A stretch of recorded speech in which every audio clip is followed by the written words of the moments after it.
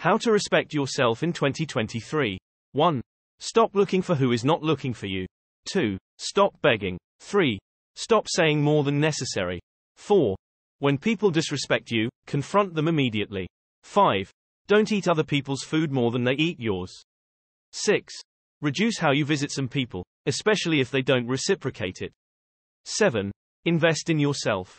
Make yourself happy. 8. Stop entertaining gossip about other people. 9. Think before you talk. 80% of how people value you is what comes out of your mouth. 10. Always look your best. Dress the way you should be addressed. 11. Be an achiever. Get busy with your goals.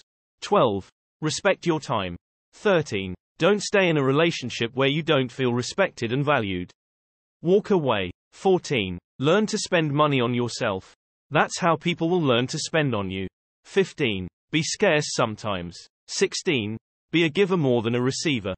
17. Don't go where you are not invited. And when invited, don't overstay your welcome. 18. Treat people exactly the way they deserve. 19. Except they owe you money, two call attempts is enough. If they value you, they will call you back. 20. Be good at what you do. Thank you for watching our video. Like, share, and subscribe to our channel.